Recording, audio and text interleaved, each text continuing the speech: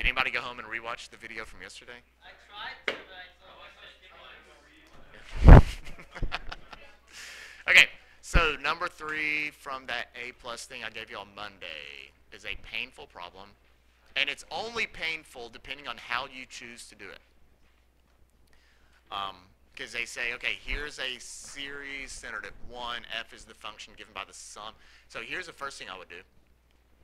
f is the function given by the sum of the first three non-zero terms. So I would start off by saying, okay, well maybe f of x is, or not maybe, f of x is the first three terms. So I'll start, oh, notice it starts at 1, not 0.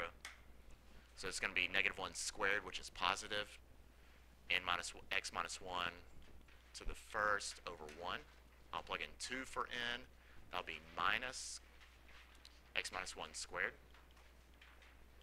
over 2 plus x minus 1 cubed over 3. So there's my f of x.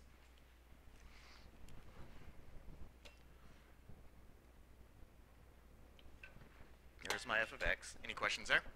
That's pretty easy. All right. Then here's where, if you choose the wrong approach, you're really going to hate yourself. The maximum value of this. Now, what is that referencing? Uh, let's go more generic. Doesn't have to be Lagrange. It's, it's, uh, it's referencing the error, right? This is talking about error. This is talking about error. Um, and so when it comes to error in estimating things, when it comes to error in estimating things, you have three options.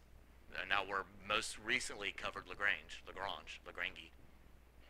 Um, so we're thinking that it could be Lagrange, but it could also be, this is an alternating series, so you could use an alternating series error test. And if you want to challenge yourself, we could actually do the antiderivative of this also. We could do the integral test for error. And so we don't know which of the methods they would have used here. It's also going to be really weird because if we did choose Lagrange, we would have to find the fourth derivative of the function, right? Because that's how you find your m value and we don't know what f is. We just have the Taylor approximation for it. Right, so actually that means Lagrange is out. We could try the alternating series, right? But again, the problem is, I don't know.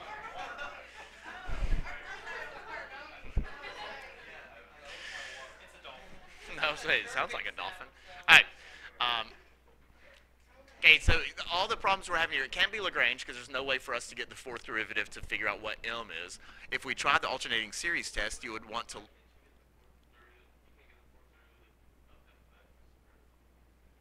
Um, oh, well, I guess we could do, it would be the fourth derivative of ln x. I'm sorry, so I'm wrong. It wouldn't be f of x because f is the approximation. But there... Hmm? Right, f is the first three terms, but we're but f is an approximation of the the f. See, that's the. I shouldn't have used f. The fourth derivative that we find is not the fourth derivative of the series. It's the fourth derivative of the original function that the series approximates.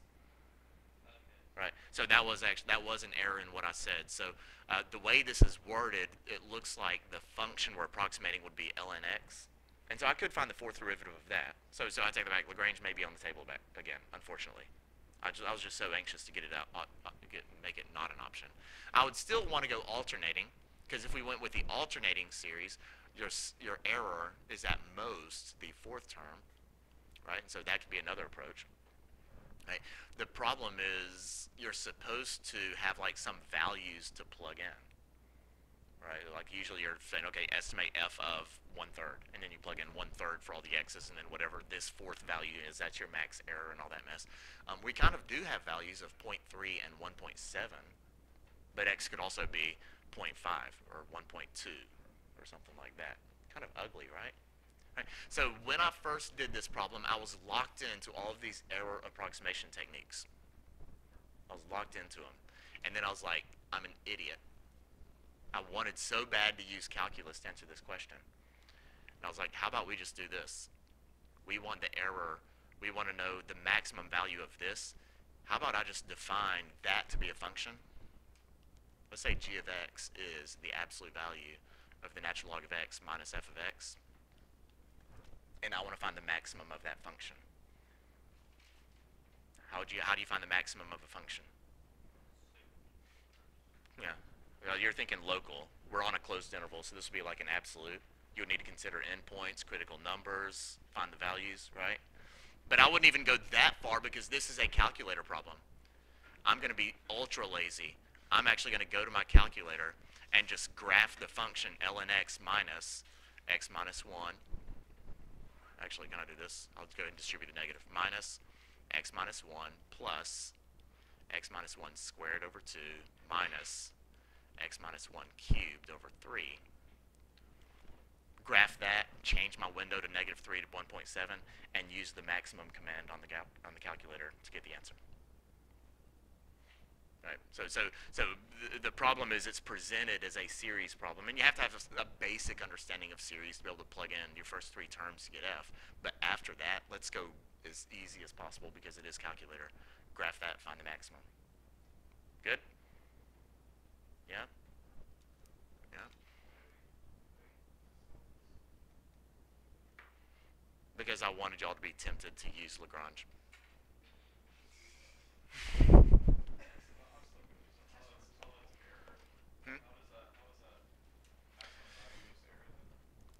Hmm? No, the maximum value. It is referencing error. The, I'm, I'm ignoring that fact in, the, in my approach, though. So,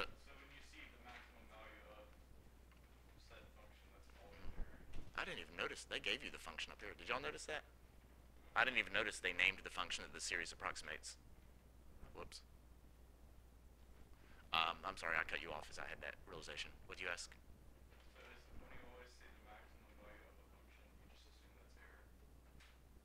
Um, it's not the it's not the maximum value. It's the absolute value of the actual function minus the approximation, the Taylor. That's the thing that's referencing error. Error. We good? Do we want to solve that in the calculator real quick since we've gone this far? No. I don't even know what the answer is. Is it C? It's C. it's cool. It's like a double entendre. Entendre to the French. Okay. All right, so moving on. Okay, so the free response question I wanted to look at was, can we read that? What does that say? 2007B, probably 6. They're all 6. 2007B, where are we? It's in here somewhere. There it is. This problem would be non-calculator. This is a non-calculator. I'll give you all a few minutes to look at it and see if you can have any uh, luck with parts A and B, and then we'll go over it. Okay. All right, there's my A. So I pause it. Here we go. Um, starting with just your memorized series for E. Have y'all memorized your E sine and cosine yet? E's the easiest one. No pun intended, but. Yep. Okay, uh, so there's E. And then to get e to the negative x squared, you simply replace all of the x's in this series with negative x squared. You don't necessarily have to clean it up, but uh, typically, typically after part A, you then have to use that series to answer all the rest of them, so it helps to have it simplified. So we wrote the first not four non-zeros and the general term. I think I may go ahead and put plus dot dot dot because it doesn't really end there. I don't know. Or maybe I won't. I can't decide. I'll just, whatever. Okay, uh, have we looked at B yet?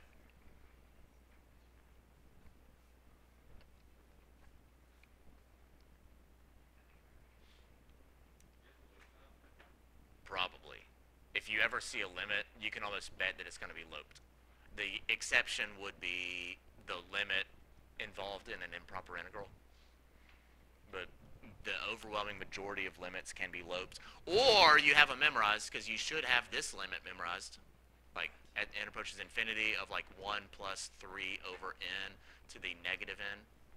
You should know what that is. No, just negative 3. E to the negative 3. So, so, which, that one would be lopable also. If you forgot that, lope would get you through it. But yeah, if you ever see a limit, you can almost bet that it will be loped. Should we just go ahead and do this one? First step to every limit. plug in and make sure it's indeterminate before you dive into L'Hopital's rule. So if I plug in 0, you have 1 minus 0 squared minus f of 0 over 0 to the fourth. What is f of 0? Yeah, because f of x is e to the negative x squared, right? Oh, yeah. Yeah, that's okay. Here's one thing you have to be careful. They explicitly said use your answer to part A. That means we cannot substitute e to the negative x squared in for f. That would be not using the answer to part A, right? So we have to use the answer to part A. Um, now I can still, so this series is an approximation for f of x, and 0 is the center. So I can still, that was a horrible approximation symbol. That's a little better. Um, so I can still uh, use that. I can plug in 0, right? So f of 0 would be 1. So we have 1 minus 1 over 0. So it's indeterminate. That means we can loop it. Um, now, I always, just for the sake of making it clear to you what I'm doing and anybody else who comes back and looks at the notes, I always make a declaration that we're doing L'Hopital's rule. You don't have to do that. If you just write limit and you magically have the derivative, the reader's going to know what you did. So, so I, I like to write lope because it makes me feel good. So the limit as n, no n, x approaches infinity, 0, of 1, it's going to be negative 2x minus f prime of x all over 4x cubed. Oh my gosh, I'm scared of this. Oh, you know what? You know what I might do?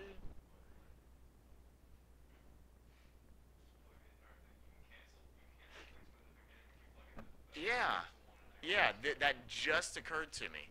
That just occurred. Well, there's nothing wrong with what I'm doing it just occurred to me that if I substituted this whole thing, if I substituted the series in for f, then some stuff will cancel. The ones will cancel. You could factor an x out and cancel some of the x's on the bottom, right? So while what I'm doing is not wrong, I'm now going to abandon this, abandon ship. You don't have to give it up. You're just abandoning it. Okay. Um, so, so what I'm going to do is I'm going to start over and I'm going to say this limit is the same thing as limit as x approaches 0 of 1 minus x squared minus that whole function up here, which I'm going to in one step, and that's dangerous. Go ahead and distribute the negative. So 1 minus 1 plus x. Oh my gosh! Sorry, she got really excited. x to the fourth over 2. Now I'm going to be dangerous here also. I'm also going to factorialize the 3 over 6. Uh, then it'd be technically minus a bunch of stuff. And hopefully that bunch of stuff doesn't come into play over x to the fourth. And look how beautiful this gets. This was definitely the better approach. I was going to make this really painful. All right, What happens? 1 minus 1 is 0. Negative x squared plus x squared is 0. We're left with that. And what can I do with that? Oh, come on. You can factor an x to the fourth out on the top now, which will leave me with negative 1 half minus or plus x squared over 6 minus bunch of other stuff over x to the fourth. The x to the fourths cancel. And now I can just plug in 0. Negative 1 half plus. Now the, the next term is 0 squared over 6. Will all of the rest ones, the rest ones? All the, I like that, we'll go with it. Will all the rest ones be zeros also? Yeah, it's going to be plus 0 plus 0 plus 0, so the answer is negative 1 half. That was a little bit easier than doing, okay? If I had continued with this approach, I would have had to figure out what f prime of x is. I'm sorry, f prime, yeah, f prime is 0, which I could do because there is no x to the first term, which means f prime of 0 is 0, which do they be 0 over 0 again. So then I'll have to do another round of derivatives and be negative 2 minus f double prime of 0, which I could figure out. So it will just take a, a little bit more ugliness and looping. But, it wasn't wrong, just evil. Okay, moving on. We are recording, yes, okay. Okay, we get to do it all over again.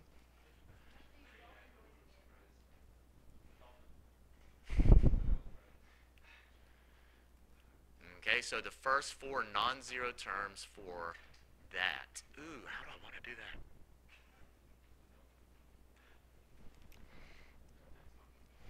I'll freeze it and see what y'all can do.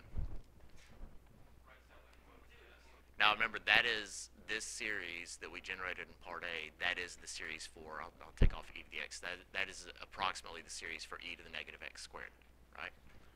So we have one option of saying, why don't we just do that integral from 0 to x of that, except it has to be in terms of t, but that's pretty easy. All I have to do is write t instead of an x. Minus t to the 7 over 7. Whoa, 6 over 6.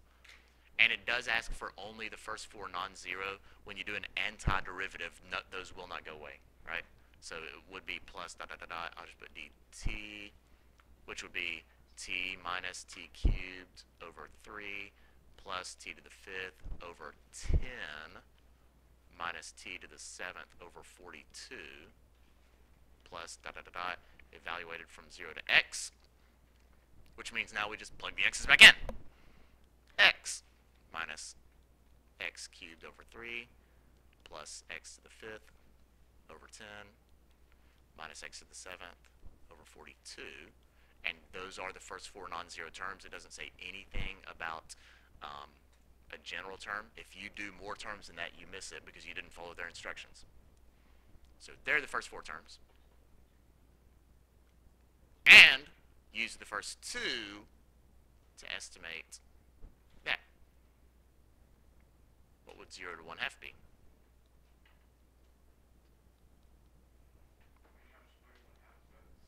Yep. Yep. Huh? Hmm? I'm not writing it all out. I'm just saying the answer to that part of it because it's kind of a two question thing. There's the answer to the first question. The answer to the second question will be approximately what you get when you plug one half into the first terms of that answer. Do you want to clean that up? 1 eighth over 3 is 1 24th, which ends up being 11 over 24. Okay.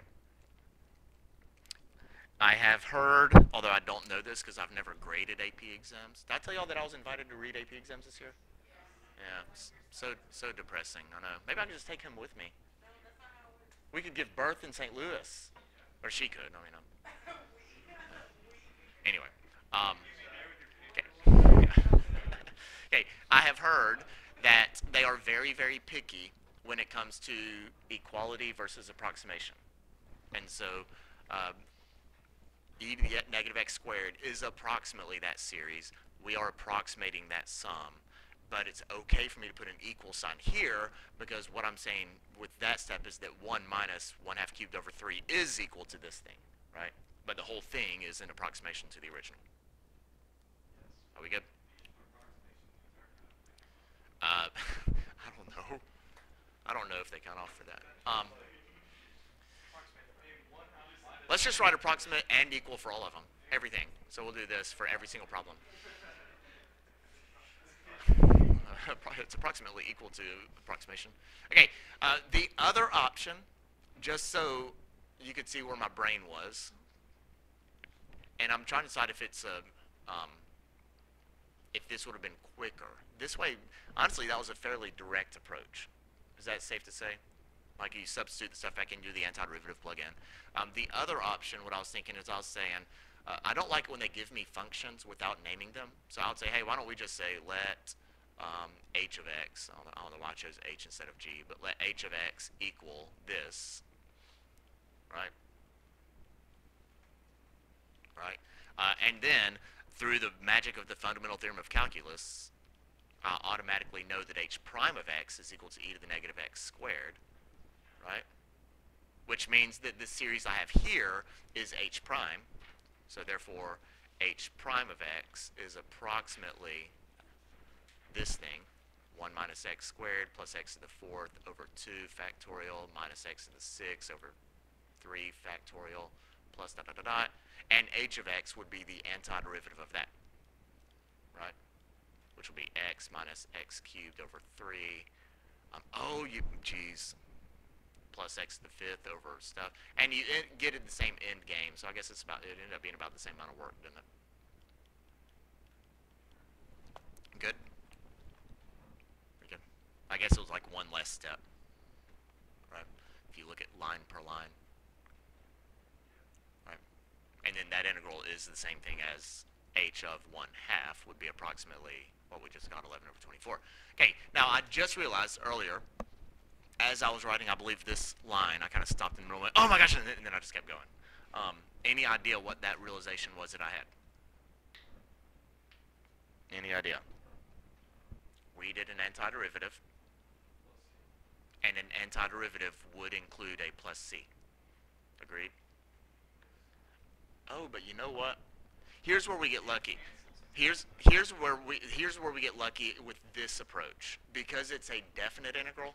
Plus c is not needed, and plugging in the x and the zero and subtracting uh, kind of does the plus c for you. If you go this route, if you go this route, your h of x is actually ungroup, uh, whatever, is actually all of that stuff plus c, right? Because I just did a general antiderivative for that one. And then we've got to figure out how we're going to solve for plus c. Any idea how we would know that c must be 0? Why? Yeah, because h of 0 would be the area from 0 to 0, which would have to equal 0, which means that c would have to equal 0. So you would have to, i i on that approach on the right side, you would actually have to make some conscious choice about your c to realize that it is 0.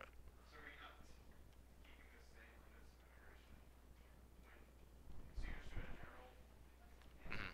Yeah, right. Because because this approach, what I did is I started with that being h, and I identified h prime, and that yeah, and that that step when I went from h to h prime completely did away with the integral.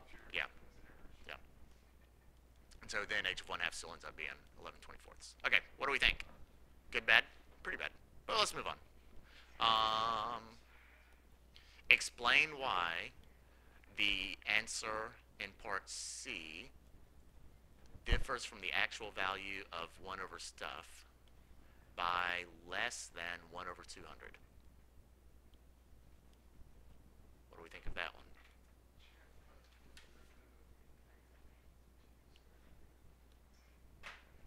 Would we have to find the fourth derivative?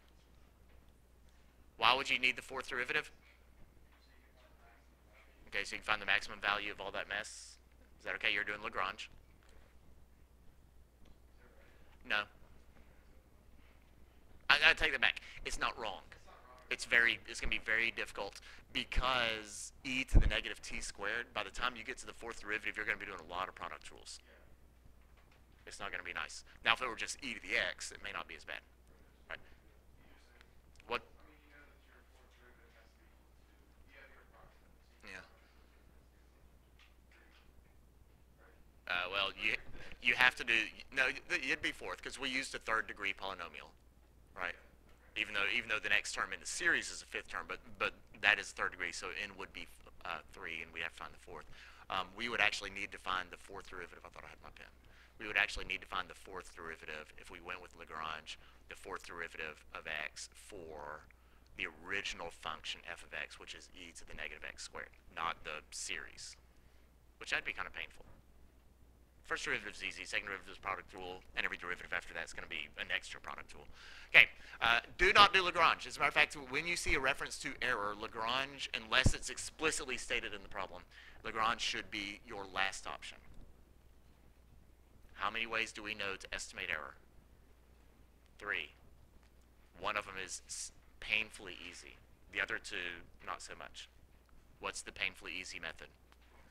the alternating series error where your error is less than your first omitted term. Do we have an alternating series? Yes. So don't use Lagrange. Not only is alternating series easier, is that test easier, but it's also more accurate. It gives you a smaller maximum error than Lagrange would. So it's easier and more accurate. So two good reasons to use that. No, it, I don't think so. I don't think so. It could be that when you do the alternate, let's see what the alternating series test is. Error first is first. So explain why. So your max error in a convergent alternating series approximation is less than the first omitted term, and you do have to say this, because it does say explain why. Um, which is, and my next term, my first omitted term would actually be, so I plugged in one half, it will be one half to the fifth over 10, which is 1 over 320, which is less than 1 over 100. Uh, 200, thank you. 1 over 200. Are we good? We're good. So now back to the question, is would Lagrange work? And it might. The problem is Lagrange doesn't give you as accurate of an error. It could give you a larger error. And so if we went look Carboni? Yeah. Yes, Do you have Jen's spell? I do not. She's got an excused absence, I think. That's weird. Okay. Um. Hey, she might get to hear her call over the intercom on the video. How cool would that be? That. Probably. Anyway, um, so back to what I was saying. Lagrange, you could do Lagrange completely correctly, and Lagrange may come back and say the maximum possible error is like 1 over 197. Right? And so, uh, uh, uh, so now that's a big difference also. Like going from 1 over 320 with the alternating series to that with Lagrange is, is kind of a big jump. So I don't think that would happen. It would probably work as well, but it could. Yes. Yes.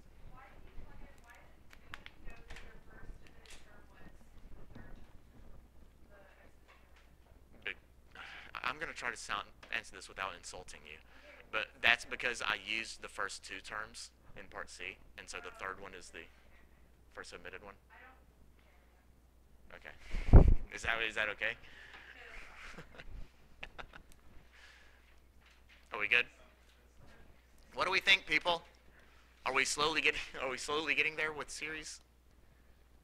Slowly? Is it as bad as is, is it getting better? It's surely it's getting a little bit better.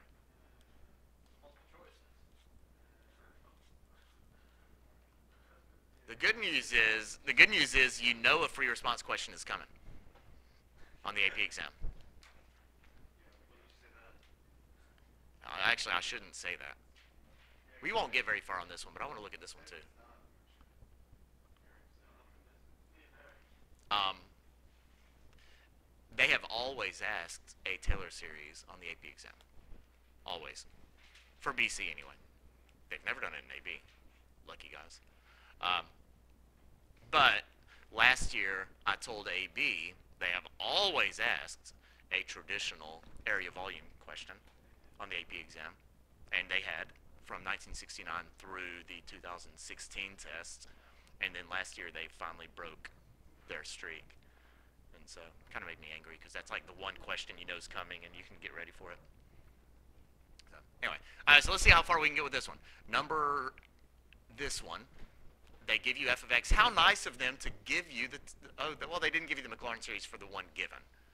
But still shouldn't be too bad. Yeah. To get my Maclaurin series for this, ln of 1 plus x, 1 plus x, blah, blah, blah, f of x would be approximately, not equal to, and we'll just substitute x cubed in for all the x's. So x cubed, I, got, I can't see now, minus x cubed squared would be x to the 6 over 2 plus x to the ninth over 3 pl- minus x to the 12th over 4 plus so right the first four non-zero that's four non-zeros and the general. So plus dot dot dot dot dot dot dot, dot plus and the general? negative 1 to the n plus 1 x cubed to the n would be x to the 3n over n. Um, and there's your series. That's nice. I don't know if I do or not. It says first Uh, the fact that they say and the general term is, I think, means that they'll be a little bit more forgiving. And now, if they just said write the first four non-zero terms with, without requiring the general, then I absolutely would just stop after the x to the twelfth and not write anything else. Or if they said write the fourth degree Taylor polynomial or the twelfth degree Taylor polynomial in this case. Yeah, yeah, kinda. But if you notice the one they wrote, they put dot dot dot after their general term too. So. okay, so B. So B. Is that a word? Maybe I'm thinking Kobe, like the beef. Huh? What is Kobe meat? Y'all never heard of that? Kobe? Kobe, like Japan. Yeah, like Kobe. It's, it's a type of beef. It's a type of meat. Yeah, it's beef. It's like a really, really expensive meat. Beef, yeah. Like I wonder what makes it special. Maybe they maybe they feed the cattle something very special. What is? Wavy lays are really good. Uh, black cattle. That's racist.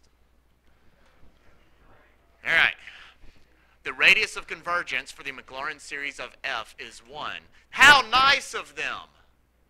Determine the interval of convergence. What is so beautifully nice about this? They gave you the radius, which means we only have to test the endpoints, right? What is the center of this series? The center is 0, right? Center is 0. Therefore, if the radius is 1, I know it's going to be, it's going to converge somewhere from negative 1 to 1. We just have to figure out whether we're going to include the ends. Agreed? Agreed? So let's plug them in. So let's test x equals negative 1. It's not geometric, is it? No, it's not geometric. So we have to do, we have to test the endpoints. Um, so if x is equal to negative 1, this will be the sum of negative 1 to the n plus 1 times negative 1 to the 3n all over n. And so we either have the harmonic series or an alternating harmonic series. What would this be? We need to clean it up to be sure. Because I would have to add these exponents, right? So it'd be negative 1 to the 4n plus 1 over n. What's going to happen if you take negative 1 and raise it to the 4n plus 1? It's always going to be, always going to be, oh, it will be positive, sorry. negative 1 to 4 anything is going to be, wait, no, it will be odd. See, I was right the first time. Yeah, 4n plus 1, 4n plus 1 is always odd, right? Right? So negative 1 to an odd power would be negative 1 over n. Is that going to converge or diverge?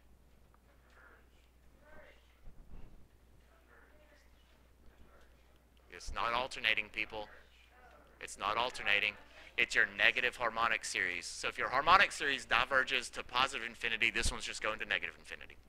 Right? All right. I don't know what I'm writing there. Test x equals 1. This one's going to be a lot easier. If I plug in 1 for x, then we just have negative 1 to the n plus 1 times 1 to the 3n over n. And that one is going to be, that one is your alternating series.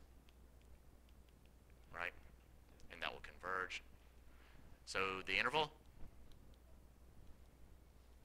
is starting from negative 1 to 1. We will not include negative 1. We will include 1.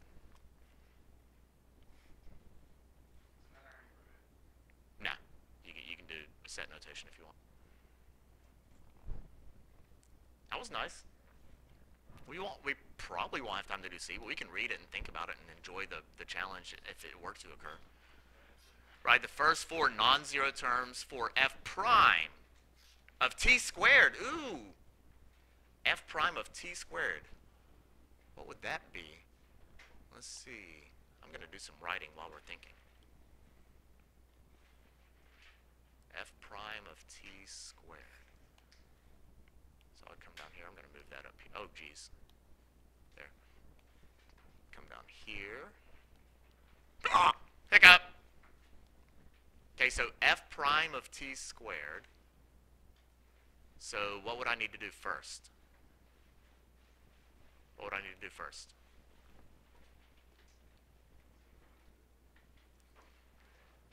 We're gonna have to plug in t squared at some point.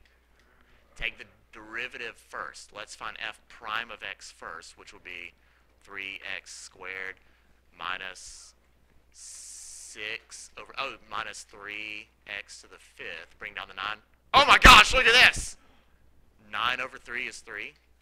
x to the 8th. I bet the next one's 3 too. It is! Minus 3, x to the 11th. So there's the first four non-zero terms of f prime, and then f prime of t squared. Now we just plug t squared into that. So that'll be 3t to the 4th minus 3t to the 10th minus th- plus 3t to the 16th minus 3t to the 22th. Good? So uh, if g is the, oh g, no, g is the antiderivative of that. Yeah, so now we have to do the antiderivative. Okay, so that's kind of cool. We don't have time to do that. Maybe we can, how about we just finish this one for homework? Is that okay? Finish that one for homework. And also, and also from the sheet I gave y'all yesterday that we didn't look at, this one, do the 1982 problem, which I think is the very last one. No calculators were allowed in 1982. The answers are on my webpage. The answers are on my webpage. But please, um, please give it your best effort without looking at my answers. Right? Right? Okay. I'm going to stop recording.